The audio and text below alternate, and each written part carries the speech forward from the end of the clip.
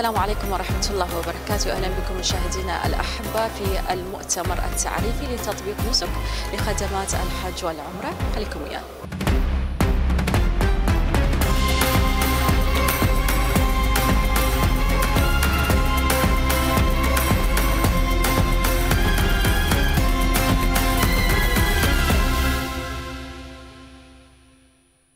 إحنا بعد لحد الآن نريد نشوف هسه المؤتمر هو هذا راح يطرح بكل الأمور. فنشوف فإذا الشيء يناسبنا ويناسب المعتمرين وبيه فائدة لمعتمرينا فراح نشتغل به ما عندنا أي مشكلة بالموضوع. حقيقة في هذا الوقت في بعد خلاص الناس من وباء كورونا اشتياق كثير من الناس لأداء نسك العمرة وكذلك للحج. وهاي المنصة الجديدة هي شيء جميل جدا وأعتقد هو يعني هي تساهل تساهل جيد للمواطنين الذين يرغبون زيارة الحرمين الشريفين أو يريدون أداء نسك العمرة أو أداء الحج لذا نطلب إن شاء الله ونرجو أن يكون هذا التعاون المشترك بين البلدين هذا التعاون دائم ومستمر لخدمة ضيوف الرحمن. وبارك الله في جهود المملكة العربية السعودية في هذا المجال. عدد الحجاج العدد الطبيعي لهذه السنة. يعني راح يكون عدد حجاجنا 33690 آه ماكو شرط العمر. جميع الأعمار مشمولة. كل من فايز بالقرعة آه 20 21 23 اللي تأجلوا لحد 22 السنة إن شاء الله يلوحوا من الحج يطلعون للحج كلهم. هذا بالنسبة للحج. أما ملف العمرة ما شاء الله ملف العمرة جميع المطارات شغالة في ملف العمرة انضافت عليها مطار كركوك. وبالإضافة إلى هذا تم افتتاح منفذ عرعر الحدودي التي دام إغلاقها أكثر من ثلاثة عقود يعني أكثر من ثلاث سنة 30 سنة مغلقة. فالحمد لله ماشية وبدون أي مشاكل وبانسيابية عالية. حقيقة هي منصة نسك إحدى المنصات المرخصة من قبل المملكة العربية السعودية وذلك لتقديم التسهيلات لخدمة ضيوف الرحمن والقادمين لأداء العمرة والحج من جميع دول العالم ومنها بالأخص العراق بإذن الله تعالى بغداد. ولله الحمد اليوم صادفنا جية معالي وزير الحج والعمرة. أي نعم. وكذلك إن شاء الله رئيس هيئة الحج والعمرة الأستاذ المسعودي. وإن شاء الله تشرفنا بحضورهم كلهم وعسى الله يديم المحبة بيننا كلنا. اليوم في جمهورية العراق حضرت الشركات السعودية وشركة تطبيق نسك المتواجدة في المملكة العربية السعودية لتسهيل المعتمرين وتصاريح الحج والعمرة وزيارة المسجد النبوي الشريف. فقد حضرت اليوم التقابل التعليم التعليمي اللقاء التعليمي لشركات العمرة العراقية والتواجد في هذه الموقع في فندق الرشيد في بغداد في العراق. طبعا بحضور سعادة الوزير الحج والعمرة وسماحة الشيخ المسعودي رئيس هيئة الحج والعمره العراقية وشركات العمره العراقية في أنحاء العراق من كردستان وبغداد والبصره والحمد لله اليوم قد حضرت كل الشركات واستقبلناهم استقبال وشرفونا ونورونا في بغداد.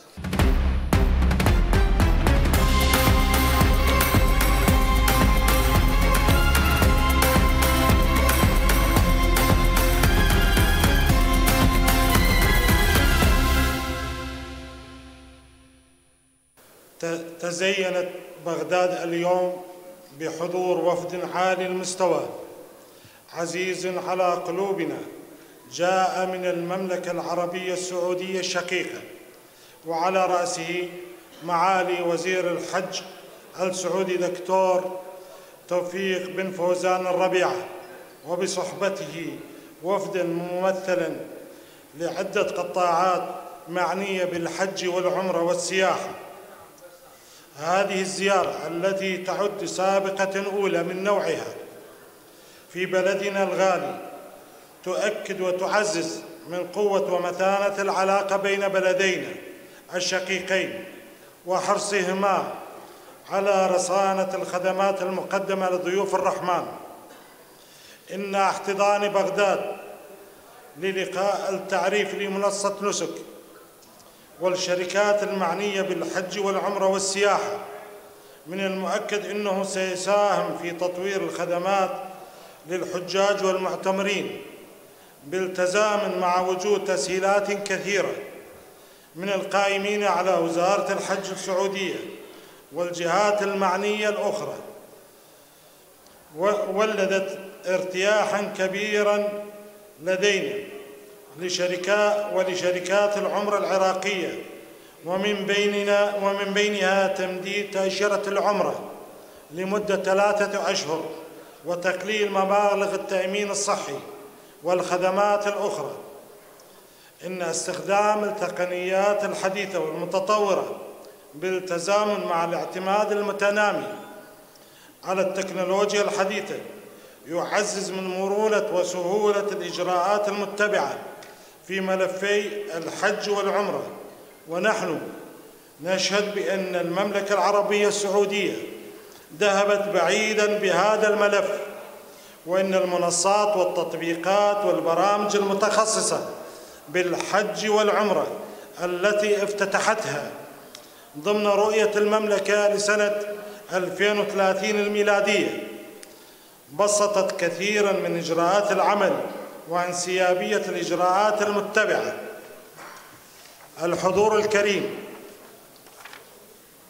إن الهيئة العليا للحج والعمرة على أتم الاستعداد للتعاون في كافة المجالات يهدف خدمة وراحة الحاج والمعتمر العراقي وتقديم أفضل الخدمات لهم حيث إن العراقيين يتوافدون بكثافة إلى المملكة ومنذ بداية موسم العمرة التي انطلق هذا العام مبكرا لأول مرة في شهر محرم الحرام حيث تم تسجيل مغادرة ما يقارب 300 ألف معتمر ليومنا هذا لغاية يومنا هذا عبر المطارات جوا ومن خلال منفذ عرعر الحدود برا التي افتتح هذا العام بجهود كبيرة من الجانبين العراقي المتمثل بهيئتنا ووزارة الحج السعودية حيث دام إغلاقه لأكثر من ثلاث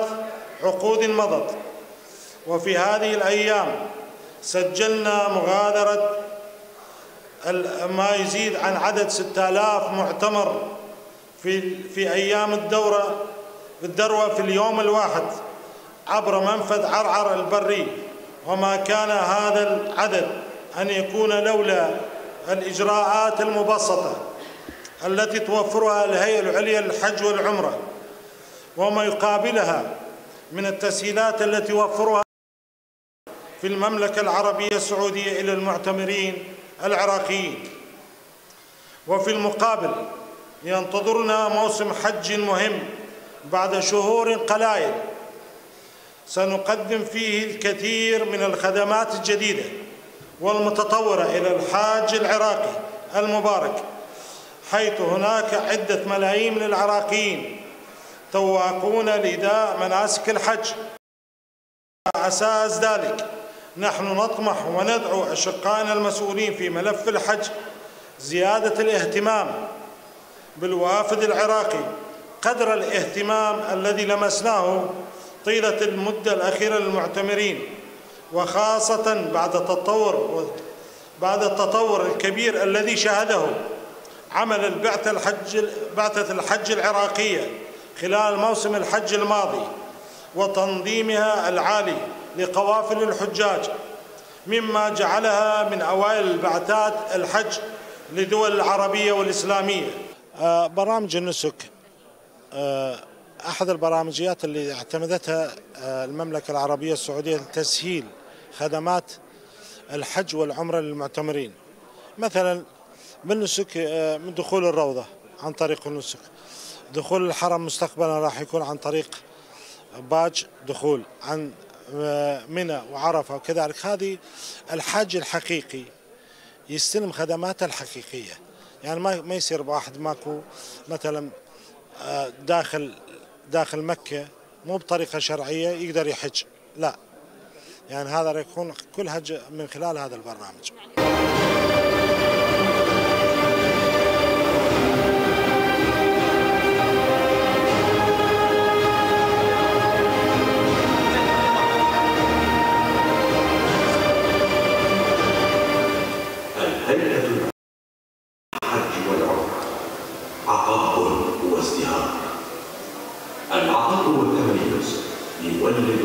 التقدم والازدهار استراتيجية طموحة عالية السقوف انطلقت بها الهيئة العليا للحج والعمرة خلال عام 2022 لبداية مرحلة جديدة من العمل الجاد لتحسين الخدمات المقدمة للحجاج والمعتمرين وتحقيق النمو الاستثماري المتسارع والمستدام.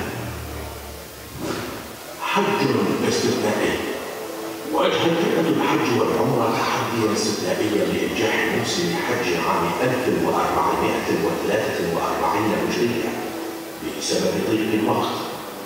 إلا أن التعاون الكبير الذي بدر من المملكة العربية السعودية وعلى رأسها وزارة الحج والعمرة بقيادة معالي الدكتور توفيق بن فوزان الربيعة الذي حرص على أن يكون موسم الحج ناجحا للعراق ولجميع الدول الإسلامية.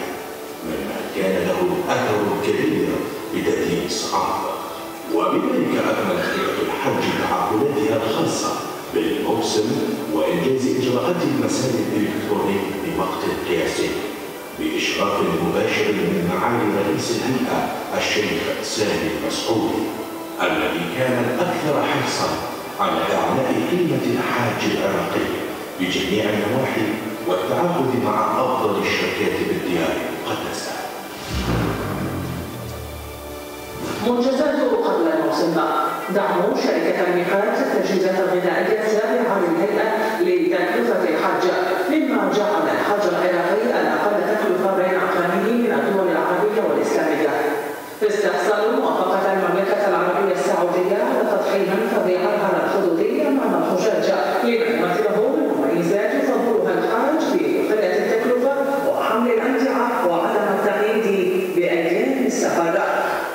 Siga a roupa atrás.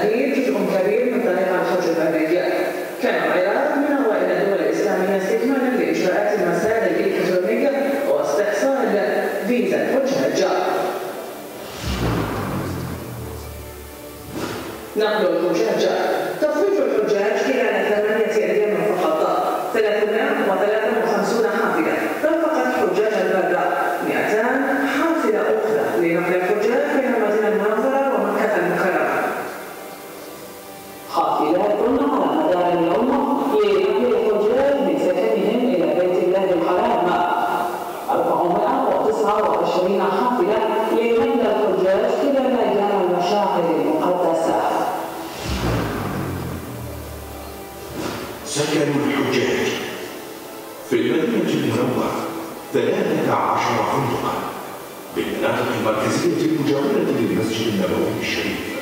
توفرت فيها كافة المواصفات الفندقية في مكة المكرمة سبعة فنادق وأبراج قريبة من المشاعر المقدسة والمسجد الحرام. كانت المواصفات الفندقية سياحية متكاملة.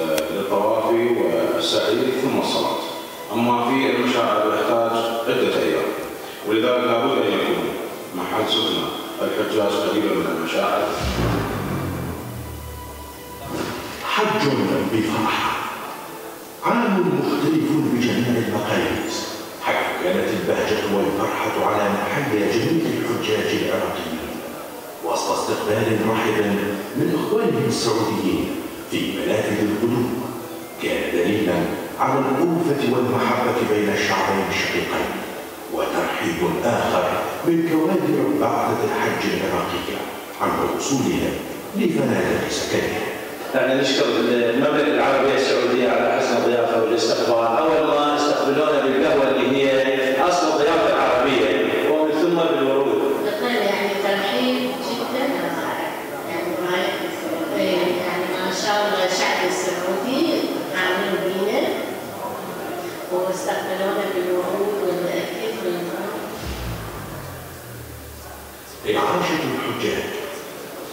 أمر آخر يتكرر كل عام وهو اطعام الحجاج لما يعتريه من متطلبات من الصعب تنفيذها في الديار المقدسة إلا أن الهيئة وبمتابعة مباشرة من رئيسها الشيخ المسعودي جعلت موسم حج عام 1443 للهجرة من أنجح المواسم في جوانب الإعاشة التعامل مع أفضل المطابخ في الديار المقدسة وتوفير وجبات غذائية يومية وفق الذائقة العراقية يكون وجود الشيف العراقي مشرف عام على إحضار تهيئة وإحضار الطعام لحجاج بيت الله. والله لكن الحمد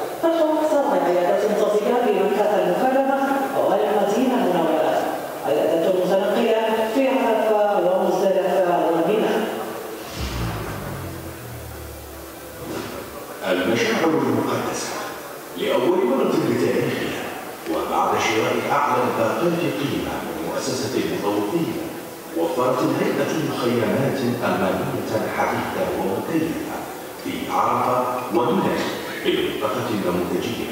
سكن فيها جميع الحجاج سويا مع توفير وجبات طعام ساخنة وجافة موسم العمرة وفقا لقانونها المرقم 23 سنة 2005 الذي حصر مسؤولية تنظيم العمرة للعراقيين بهيئة الحج والعمرة اتخذت الهيئة خطوات للقيادة الشاملة لموضوع العمرة وفرض سيطرتها القانونية لضمان حقوق المعتمر العراقية وكذلك الشركات السعودية من الشركات الوهمية أو المتلكئة عبر منح الإجازات لشركات العمرة فرض وشروط إلزامية أخذ ضمانات مالية إلزام الشركات بمرافقة المرشدين الدينيين للقوافل منفذ عرفة بعد انقطاع مقدام لأربعة عقود وتعزيزا لتطور العلاقات الثنائية بين البلدين الشقيقين أعادت المملكة العربية السعودية افتتاح منفذ عرعر أمام المعتمرين العراقيين وأثمر افتتاح المنفذ عن عدة أمور إيجابية منها دفاع المواطنين على الذهاب برا الديار المقدسة قلة التكاليف المالية على المعتمرين قيادة بالسفر جوهرنا المساهمة في تعزيز التبادل التجاري بين البلدين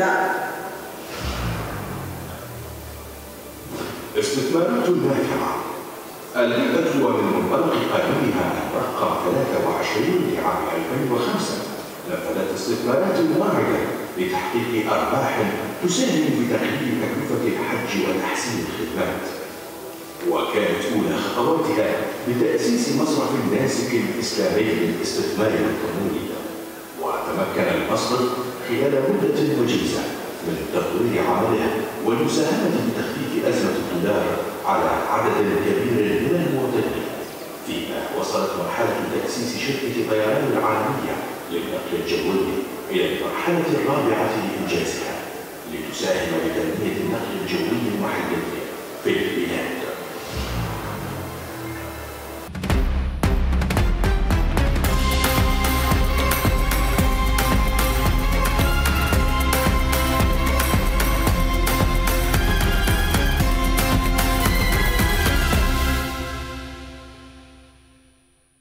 حقيقة نحن إحدى الشركات المرخصة من قبل مقام وزارة الحج والعمرة والنقابة العامة للسيارات ووزارة السياحة. نخدم آه، كضيوف الرحمن كأحد أكبر شركات العمرة التي تخدم في آه، مواسم العمرة السابقة وحاليا. إحنا شركة آه، خدمية نقوم بخدمة الخدمات كاملة يعني من تأشيرة إلى سكن إلى نقل إلى إعاشة. حقيقة نحن نمتلك أسطول من الباصات والنقل الحديث كذلك نمتلك برامج متنوعة لخدمة جميع طبقات المجتمع من ضيوف الرحمن والقادمين لأداء المملكة العربية السعودية لأداء العمرة من المملكة العربية السعودية. هي تميزينها بالسعر والخدمات والفنادق والمستوى. هذه الأشياء تميز شركة عن شركة. تمام. إحنا إن شاء الله إحنا من المستوى الكبير. إحنا الحمد لله لحد الآن خادمين أكثر من 65 ألف معتمر.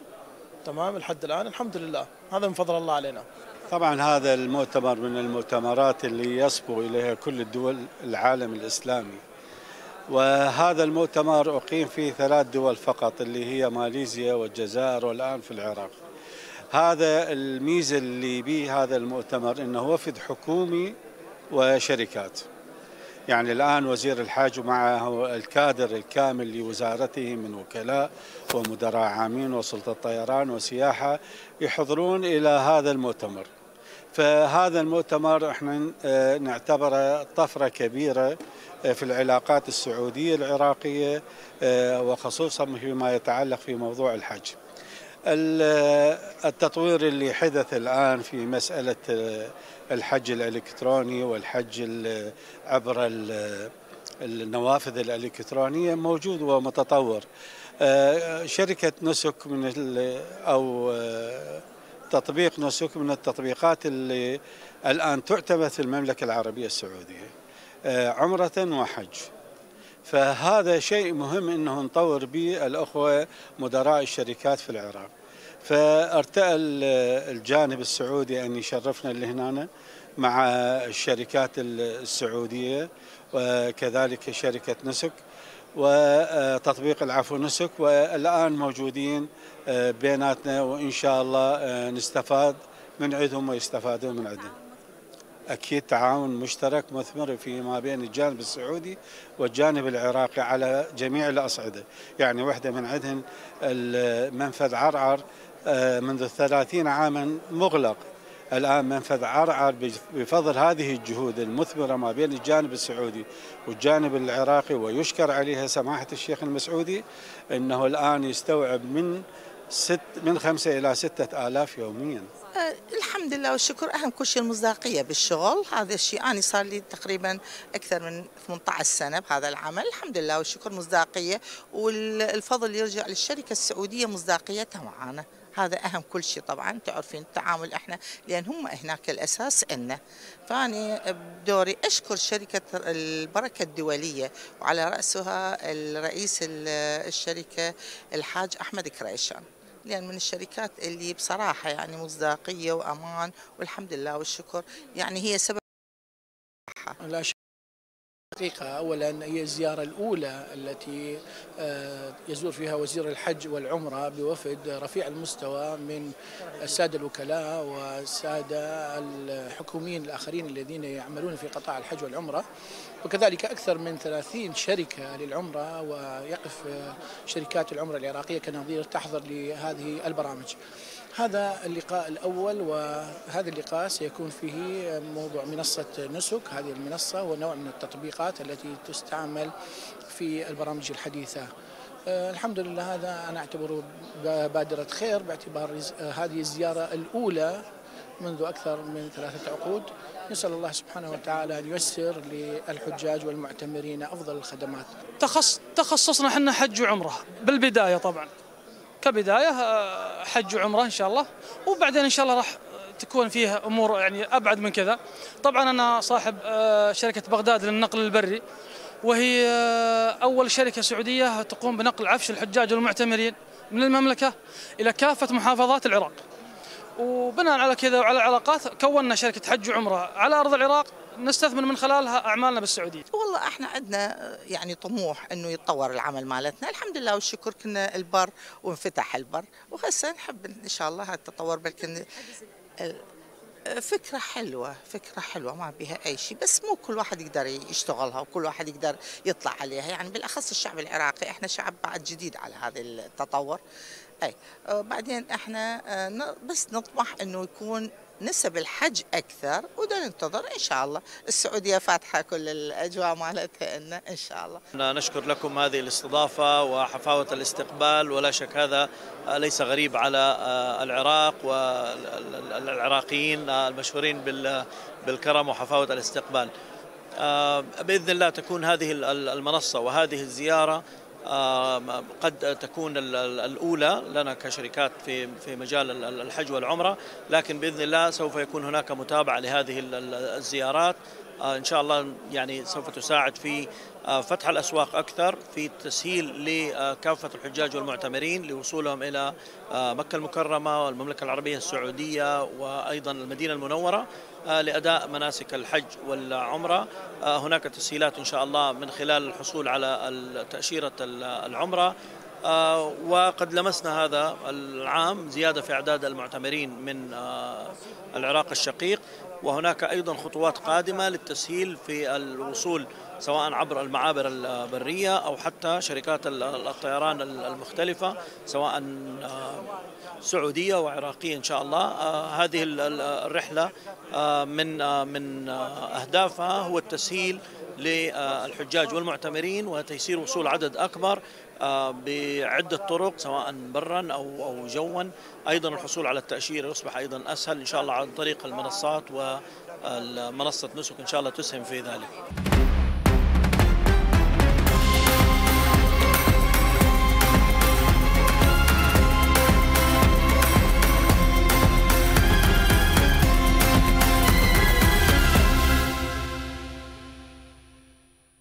بعد ماليزيا والجزائر العراق ثالث دولة ضمن منصة نسك السعودية بتعاون سعودي عراقي للحجز الإلكتروني وتقديم الخدمات للمعتمرين والحجاج العراقيين. ختاما تقبلوا تحياتي وتحيات كادر العمل وإلى اللقاء.